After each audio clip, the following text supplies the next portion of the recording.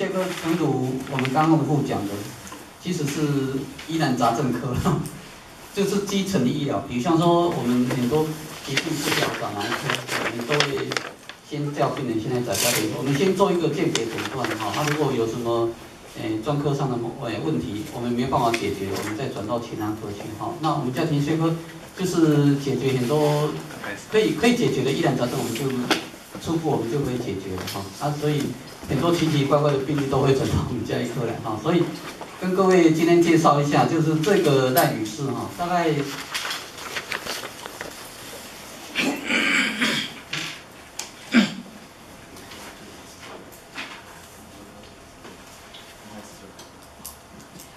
这个病人她赖女士哈，大概在四十几岁左右哈，那她因为。超过三个月的咳嗽哈都不会好，那他有去看过外面很多诊所啊，包括耳鼻喉科啊、胸腔科啊、加医科都看过，哦，那到处看啊那，他们也给他做一个胸部 X 光啊、肺功能，到处到处检查鼻子啊什么他都检查过，可是他都跟他讲说没有问题，啊，那没有问题为什么还是一直咳嗽呢？所以，而且他们也给他开了很多药哈，包括支气管。那个气喘的药啦，咳嗽止咳的药啦，化痰的药啦，可是病人讲说他吃的好像都没有什么效果，那所以他就到我的门诊来看门诊。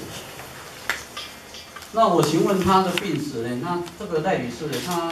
本身就没有在抽烟了哈，而且她过去也没有气喘，也很少在咳嗽哈。那最近也没有什么感冒啦、发烧的症状哈，因为大家都知道天天天气变啊。感冒的病人很多，可是他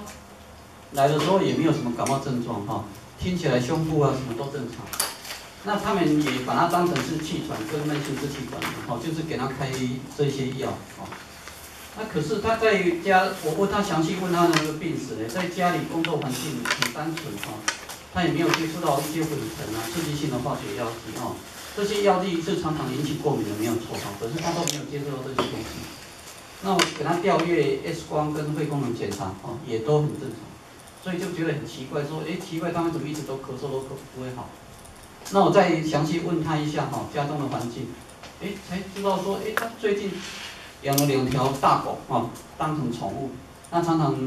每天都几乎都跟他形影不离，有时候带他去散步啊，到处玩，哈，那我是怀疑说，哎，他是不是对这种宠物会有点过敏？所以我就给他抽个血，哈。这就我们这个叫多种过敏原实验，叫 MAST 哈。那后来才发现他对狗毛过敏啊，等一下我会给他看。那这个才发现说，原来他对狗本身就是那个毛发会过敏，那所以才知道说啊，原来是这个狗毛，应该是它造成它长期咳嗽的原因啊。所以我跟他解释以后，就是对狗啦，你比较少接触一点啊，或者是不要每天都在一起。啊，给他吃点，做点适当的清洁了哈。那我再给他开一些抗过敏的药，哎，后来慢慢就症状就改善了哈。所以，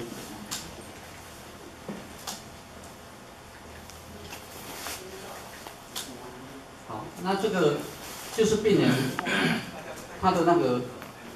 他对很多东西都会过敏哈，吃的东西是不会啊。这种多种过敏，我们去检查三十六种过敏哈。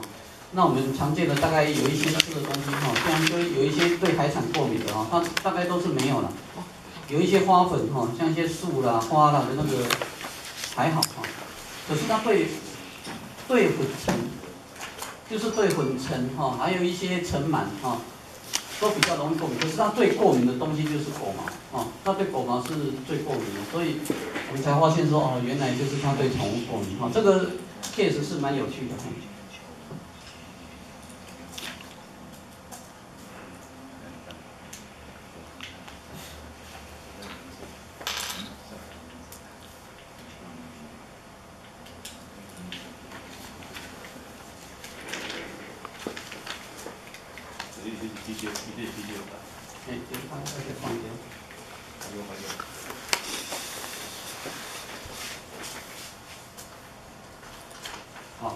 谢谢。好，那我们解释一下咳嗽哦有哪些原因。大概我们台语有一句话了哈，就是医生惊地少对吧哈，拖水师傅惊了然后对吧？啊，咳嗽哦，是我们医生最难治疗的，而且也最常见的哈。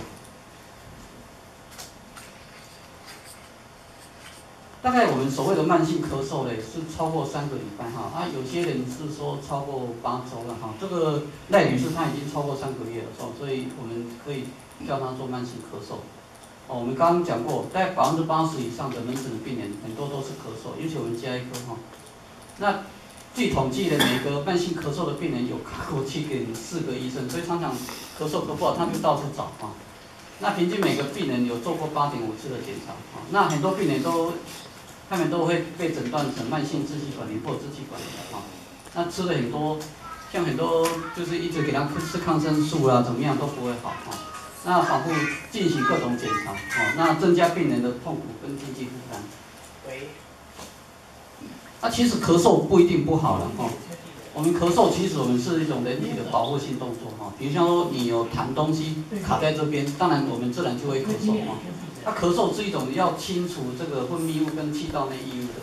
可是如果是长期咳嗽，哈，这样就不好了，哈。那我们常常常常见到的急性咳嗽，大概是普通感冒，这个大概是最多的哦。最近天气在变，哦，感冒的病人非常多。啊，有一些是鼻窦炎，哦，像是鼻子过敏啊，鼻窦炎啊，他也会常常流鼻涕。啊，这种鼻涕本身就会引起咳嗽哈。那当然有一些抽烟的病人，哦，有一些慢性支气管炎，他有时候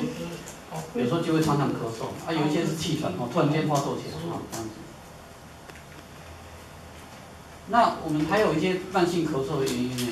是气喘哦，我们常见的有一些，我们有一些气喘的病人，他可能就是不是说很厉害的气喘，可是他就长期咳嗽，但他点啊少少少，可是他本身就是有点气喘的疾病啊。啊，还有一些病人他本身有鼻涕倒流，尤其是小孩子、小朋友，哦，像各位有如果，其实我们在门诊非常多了哈，啊，像我们如果各位有小朋友的话，有时候常常在上面老品歌哈。那种都是很多这种过敏性鼻炎，那这种过敏性鼻炎它常常会鼻涕倒流，鼻涕倒流又常常咳嗽哈。那有一些胃食道逆流，其实很多这种胃哈，它本身就是常常食道逆流，可是食道逆流以后，它都会早上会起来，哦就一直咳一直咳。其实它就是因为食道有那个胃液分泌哈，然后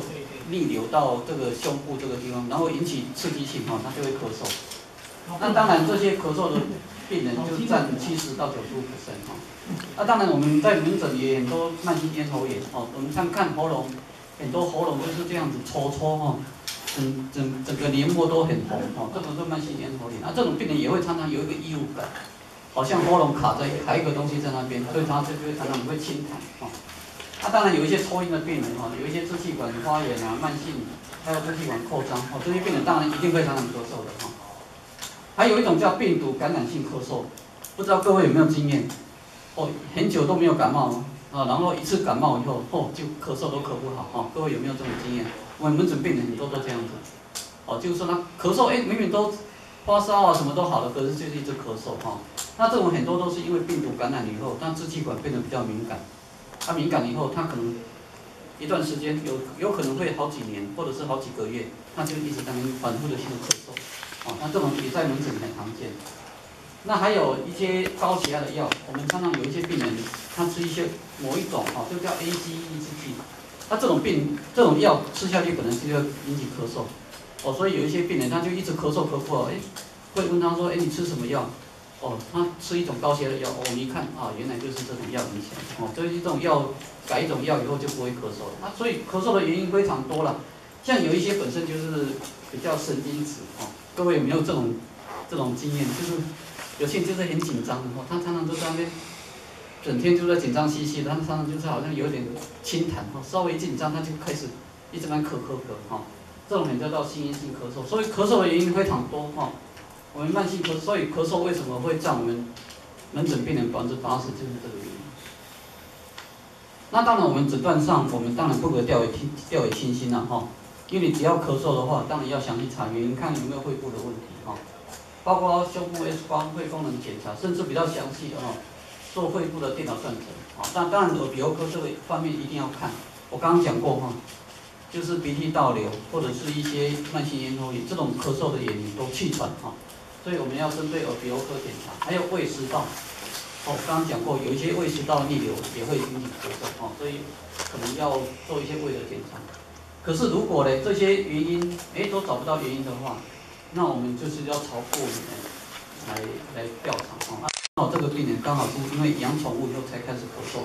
所以我们就可以判断说，哎，原来他是对狗毛过敏。啊，可是过敏的原因非常多了哈。你像你工作环境，哦，像有一些他工环境本身就有很多灰粉尘、灰尘。还有一些，比如像他做化学药剂的，他可能有一些有害的物质，好像一些甲苯啊什么。我有一个病人，就是他整天都在，他那个做那个外销的那个键盘，啊，他本身就有一些甲苯，哦，那甲苯这个挥发性物质非常高，他每天在那吸那个，后常常咳嗽，常常喘。可是我刚刚讲说，这个没办法，除非你不要工作，哈，换一个工作环境，哈，这样才能完全好。啊，可是很多病人哦，他在除了工作环境以后，我们当然要详细找一下哈，家里是不是有一些其他的原因造成的哈。我刚刚讲过，台湾是属于湿热气候哦，我们很多很多人在台湾这种环境下就很容易咳嗽。可是他会，我甚至以前有一个病人，他就是一个也是一个你们同行记者，他也是一样，他就是为了他他的小朋友哈，就是一直咳嗽咳不好。他就是对这种温度、湿度，我们台湾这种湿热气候，他就过敏。啊，他也是找不到原因，后来他就是到移民到美国去以后，那个小孩子跟我讲说，完全都不咳了啊。所以因为台湾、美国的气候比较干，我们台湾气候比较湿，啊，那本身就对湿度、对温度过敏，啊，这种就是体质，那这个没办法，除非你换个环境才会好啊。那有一些是对花粉、灰尘还有尘螨啊，这种也很多了。像刚讲的那个病人，有也有可能对尘螨过敏，哦，对灰尘。我刚好那个那那张那个图，那这种大概你家里要避免的话，可能就是要一些，比如像窗帘啊、地毯啊这些，你可能就是要把它常定期这样清干净，哦，或者是它晒晒棉被啊，怎么去去晒晒太阳，哦，这样才会好。因为你这个粉尘，它都躲在一些窗帘，啊，这些过敏的其实不在少数，哈。那我刚刚讲到说宠物，其实这个大家都很忽略，因为现在养宠物的很多，可是对宠物过敏其实也不少，只是大家都很多都不知道而已哈。但是刚好这个病人因为这样子，我们查出来，其实很多病人对对很多猫啦、狗啦、白兔啦、小白兔哦，以以前有一阵子在流行养小白兔哈，其实也有很多人过敏，只是你自己不知道而已哈。那如果我们可以适当找出这种过敏源啊，那找出那慢性咳嗽的原因哈，那适当的治疗大概就会好。那所以这给我们医生一个很宝贵的经验了哈，就是说一个咳嗽的病人来哦，有时候要详细问他，就是接触的过敏源哦。当然你要朝肺部、要朝鼻子啊怎么样来来来诊断。可是你如果真的找不到原因的话，哦，有可能就是要好好找出他最过敏的东西哈。如果刚好这个病人可以找到，那就会好。那不然他在外面一直看，一直吃药，吃的吃的心跳都没慢些，可是他病还是不会好啊。那就谢谢各位媒体，哎，今天就讲到这，谢谢。